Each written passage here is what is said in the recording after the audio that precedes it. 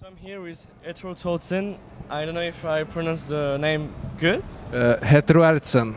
Etro I try. so uh, you open uh, the stage at the Hellfest this morning. Or was the show or was the feelings of that?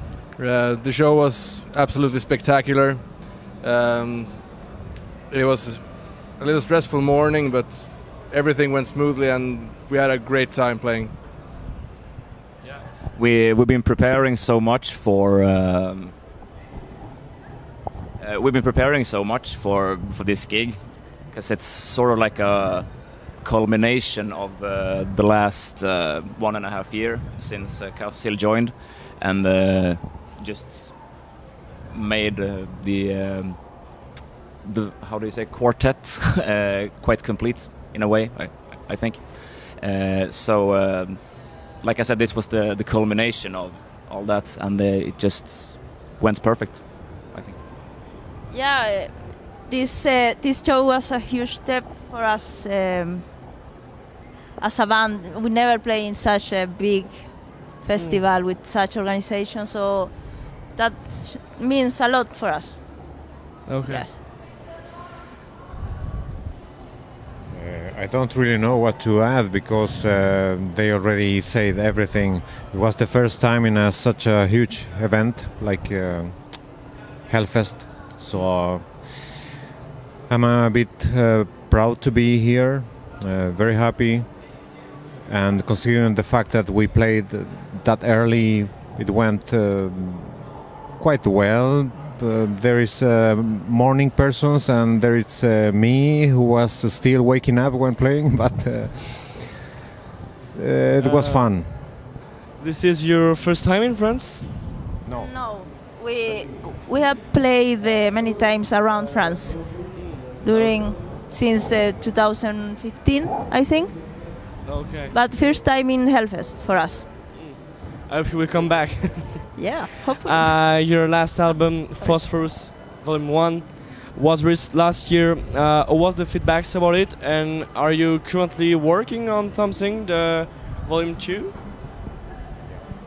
We are, yes, we are work. We will focus on Phosphorus Volume 2 after this show because we have a few months without live uh, shows for us. So we will focus in uh, finishing the volume two. And there is a lot to do of course but uh, we have uh, many ideas. And. And about I think you asked about the phosphorus one the reception of yes. phosphorus one. Yeah it got a lot of promotion. And I, I, I actually like to read what about I'm very interested in reading what it says about the album. So I was collecting all all reviews that that were appearing, and it was very few that didn't like the album, but the a huge percentage was very positive.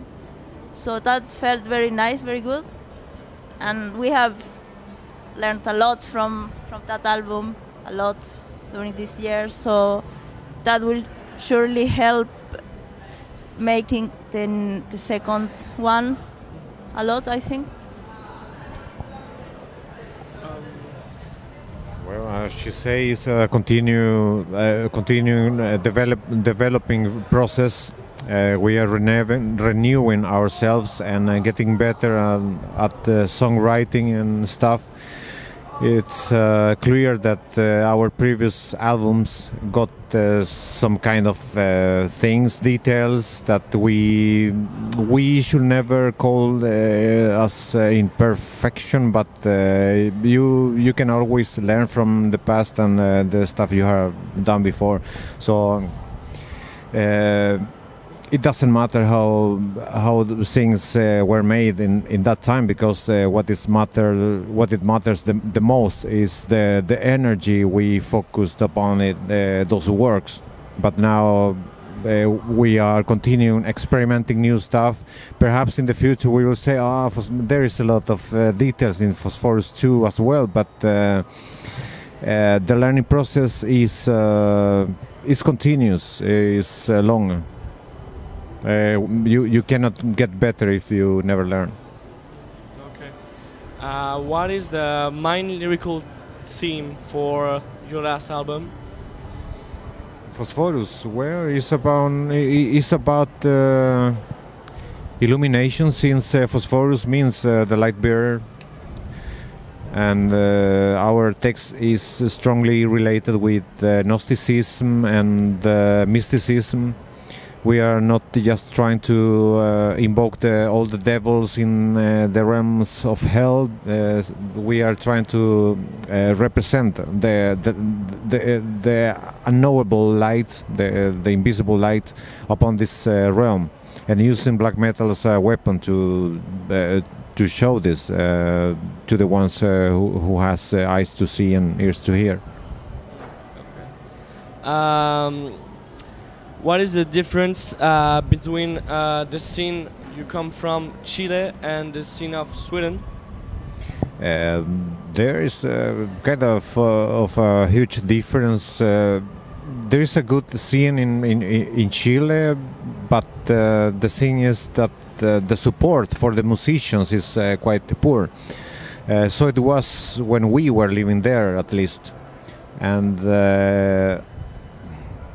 when we moved to to Sweden and tried to get uh, stuff done there, uh, we experienced uh, a new kind of uh, support, and uh, everything went uh, better. We we managed to to fix a rehearsal room and stuff that sounds impossible to achieve in our country, and. I'm sorry to say that, but uh, it's true. When when you are starting, there is no such help and support. You you are for your own. Okay.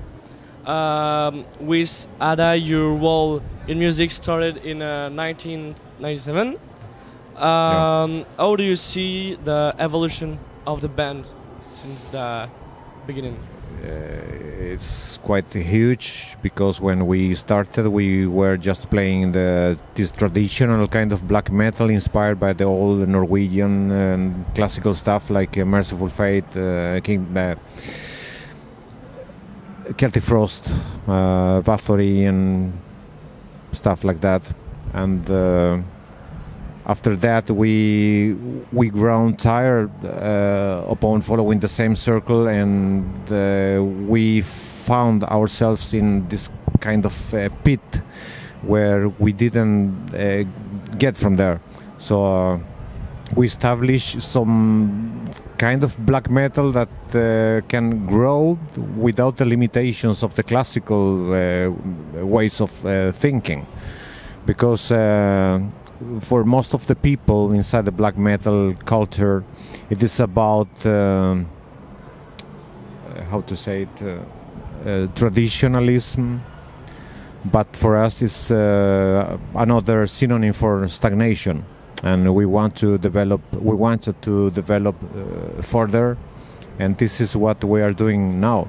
Uh, i mean there's no limits here uh, well the sky is the limit they say but we say the mind if, is the limit as long as we keep ourselves creatives there is no limitations and uh, once again the rules are made to be broken Uh, can you talk now about uh, the artwork of the last album, the signification of it, and who made it?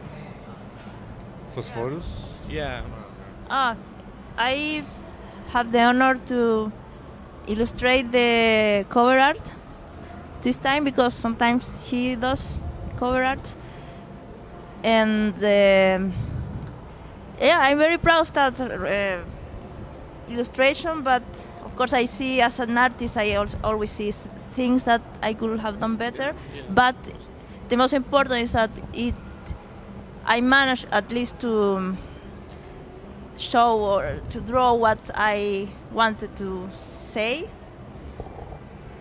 Uh, there's a lot that I say through that image, but I like that people who see and the cover art tries to like wonder "Wha- what the fuck is that? Why is that?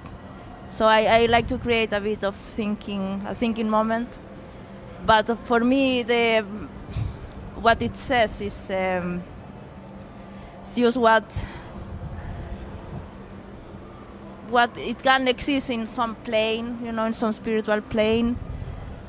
If if there are forms in another plane, for example, it will look like very almost like it doesn't make sense for us, but for them it makes sense.